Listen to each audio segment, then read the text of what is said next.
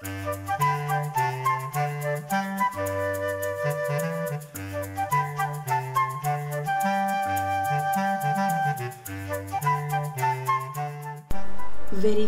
rezultatelor adunării și scăderii cu numere mai mici decât 10.000. Verificarea rezultatelor adunării și scăderii se realizează efectuând proba. Să lucrăm câteva exemple pentru a înțelege acest lucru. Mai întâi o adunare. 976 plus 456 egal 6 plus 6, 12. 7 plus 5, 12 plus 1, 13. 9 plus 4, 13 plus 1, 14. 1432. Să vedem cum ne verificăm. Efectuăm proba. Putem schimba ordinea termenilor. Schimbând ordinea termenilor, rezultatul rămâne același. Așadar, 456 plus 976. 6 plus 6, 12. 5 plus 7, 12 plus 1, 13. 4 cu 9, 13 plus 1, 14. 1432 am lucrat corect. Ne putem verifica și prin scădere. Din sumă scădem primul termen pentru a-l obține pe al doilea. 1432 minus 976. 12 minus 6, 6. 12 minus 7, 5. 13 minus 9, 4. Din sumă scădem al doilea termen pentru a-l obține pe primul. 1432 minus 456.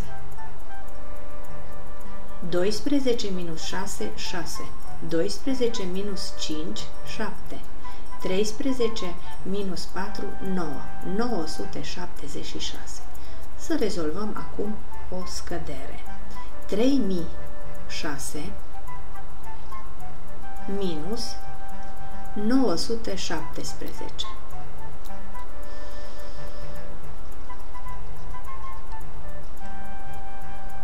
Egal. 16 minus 7, 9. 9 minus 1, 8. 9 minus 9, 0. 2 minus 0, 2. 2089. Să vedem cum ne verificăm dacă am lucrat corect. Făcând proba. Prin scădere, din descăzut scădem diferența pentru a obține scăzătorul. 3006 minus 2089. 16 minus 9, 7. 9 minus 8, 1. 9 minus 0, 9. 2 minus 2, nimic. 917. Ne putem verifica și prin adunare. Adunăm diferența cu scăzătorul pentru a obține descăzutul. 2089 plus 917. 9 plus 7, 16. 8 plus 1, 9, plus 1 din minte, 10. 0 plus 9, 9, plus 1 din minte, 10. 2 plus 1 din minte, 3. 3006. Am lucrat corect. Așadar, ne putem verifica dacă am lucrat corect inversând ordinea termenilor termenul 1 plus termenul 2 egal sumă. Ne verificăm inversând ordinea termenilor. Termenii, termenul 2 plus termenul 1 egal sumă sau suma minus termenul 1 egal termenul 2